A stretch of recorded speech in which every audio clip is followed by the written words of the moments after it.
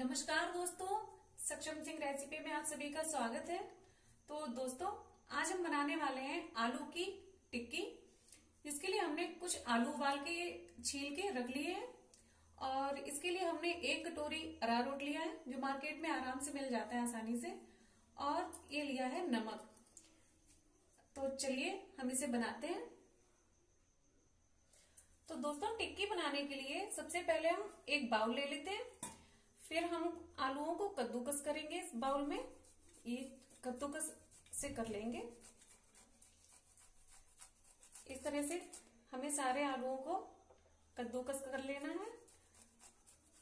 और दोस्तों, आलू आप बॉईल करने के बाद कुछ देर के लिए उन्हें ठंडा होने के लिए छोड़ दें, क्योंकि आलू जब ठंडा हो जाता है ना तो टिक्की एकदम क्रिस्पी, बढ़िया बन बनती है।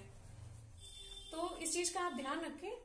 जितना हो सके आलुओं को ठंडा कर ले। मैंने इनको उबाल के एक दो घंटे पहले ही रख दिया था तो ये बिल्कुल ठंडे हो चुके हैं। अब इसी तरीके से हम सारे आलू को कद्दूकस तो दोस्तों, आलू हमारे कद्दूकस हो चुके हैं। अब हम इसमें डालेंगे अरारोट। अभी हम दो तीन दो से तीन चम्मच डाल रहे हैं। हमने तीन चम्मच अरारोट इसमें डाल दिया है। और मिक्स करते हुए हम उसकी ज़रूरत के हिसाब से डालेंगे। हमने ये नमक लिया है दोस्तों।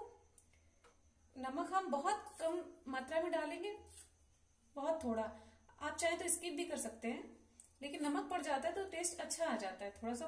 तो आधी चम्मच लगभग हमने इसमें नमक डाला हुआ है, और हम इसको कर लेंगे मिक्स इस तरीके से। आप इसको हाथ से भी कर सकते हैं, हाथ से बहुत अच्छे से हो जाता है।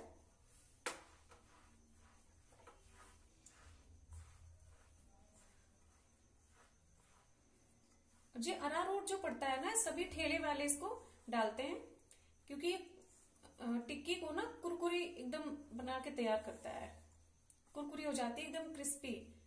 आप देखना दोस्तों, बहुत अच्छी बनाती है बनती है। एक बार ट्राई करके ज़रूर देखें। हम इसमें अरारोट थोड़ा सा और दो चम्मच डाल लेते हैं, क्योंकि मैं इसमें कम लग रहा है। और बस इसको इस तरीके से हम सारा मिक्स कर देंगे। तो दोस्तों, आलू का टिक्की का आलू हमारा तैयार हो चुका है। हमने तैयार करके इसको रख लिया है। पाँच मिनट के लिए हम इसको ढक के रख देते हैं। तब तक हम गैस पर, गैस की तरफ़ चलेंगे। तो दोस्तों, गैस को करेंगे हम ऑन। और हमने इसको बनाने के लिए लोहे का तवा लिया। आज हम टिक्की लोहे के तवे पर बनाने वाले हैं दोस्तों। और आप देखिए कितनी टेस्टी बनती है। अब हम इस पे डालेंगे थोड़ा सा रिफाइंड ऑयल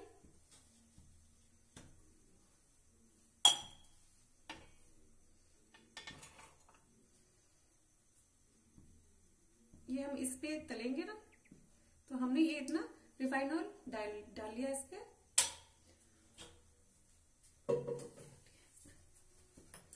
ऑयल हमारा गर्म हो रहा है। दोस्तों, तब तक आप सभी से रिक्वेस्ट है कि आप हमारे चैनल पर नए हैं तो प्लीज़ चैनल को सब्सक्राइब कर लें। और वीडियो को लाइक करें, शेयर करना बिल्कुल ना भूलें। दोस्तों, तेल हमारा जब तक गर्म हो रहा है ना, तब तक हम अपनी आलू की टिक्की तैयार कर लेंगे। इसके लिए हमने थोड़ा सा ये रिफाइंड ऑयल लिया है, हाथों में लगा लेंगे इसको। इस तरह से, जैसे ये हाथ में चिपकेंगी नहीं, और आपको थोड़ा थोड़ा आलू लेकर इस तरीके से गोल शेप दे देना है और हल्का सा प्रेस कर देना है, इस तरीके से। साइज़ में आप छोटा बड़ा अपने हिसाब से ले सकते हैं। जितनी बड़ी आपको टिक्की चाहिए या छोटी चाहिए। दोस्तों, टिक्की अच्छी बने, इसके लिए आप पूरा वीडियो ज़रूर देखें, इसकी बिल्कुल ना करें। इस तरीके से हम थोड़ी बड़ी ले रहे हैं, वो हमने थोड़ी छोटी ली है। ज़्यादा पतला नहीं करना, बहुत ज़्यादा मोटा भी नहीं रखना है इस तरीके से देख रहे हैं आप लोग। ये हमने तैयार कर ली है, और इसी तरीके से हम सारी टिक्की अपनी तैयार कर लेंगे। टिक्की दोस्तों, हमने ये देखिए आप लोग तैयार करके रख ली है। अब हम इनको फ्राई करेंगे। दोस्तों, तेल हमारा बहुत अच्छे से गर्म हो चुका है। अब हम ये टिक्की बहुत ही सावधानी से इस तरीके से रख देंगे। इस तरीके से। आपके तवे पर जितनी भी टिक्कियाँ आ जाए, आसानी से बस उतनी ही रखें।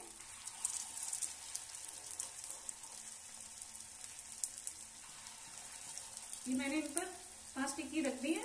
अब हम इनको बिल्कुल स्लो गैस पे सिकने देंगे धीरे धीरे और बीच बीच में उलटते पलटते रहेंगे।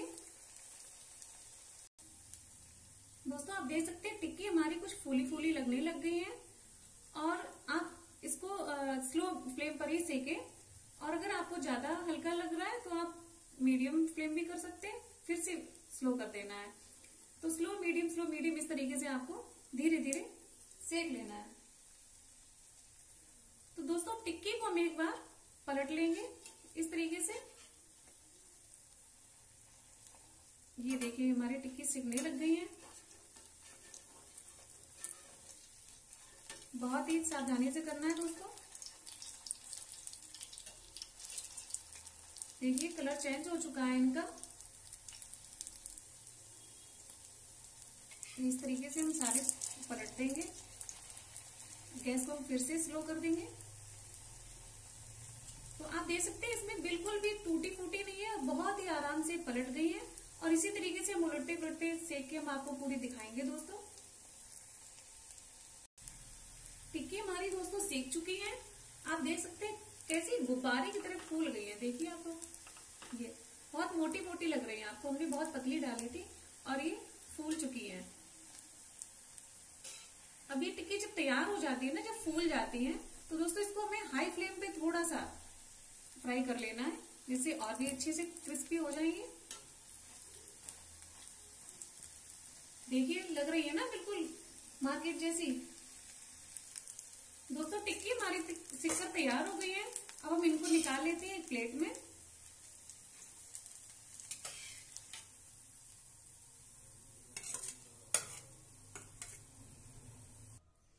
ये देखिए दोस्तों हो गई हमारी टिक्की एकदम बाज़ार जैसी कुरकुरी एकदम क्रिस्पी है। इनकी आवाज़ हम आपको सुनाते हैं। ये देखिए। कितनी कुरकुरी है। और अंदर से भी एकदम बढ़िया तरीके से पक चुकी है। ये फूल चुकी है। अंदर से फूल के सिक्के तैयार हुई है। दोस्तों, हम आपको एक टिक्की तोड़ के भी दिखाएँगे। बीच से आपको देखिए कितनी अंदर से कितनी तरीके, बढ़िया तरीके से फूली हुई है। ये देखिए। है ना? तो दोस्तों, हमारी रेसिपी आपको अगर अच्छी लगी हो तो प्लीज़ चैनल को सब्सक्राइब करें लाइक करें और कमेंट्स करके हमें ज़रूर बताएँ कि आपको ये रेसिपी कैसी लगी। Thank you bye bye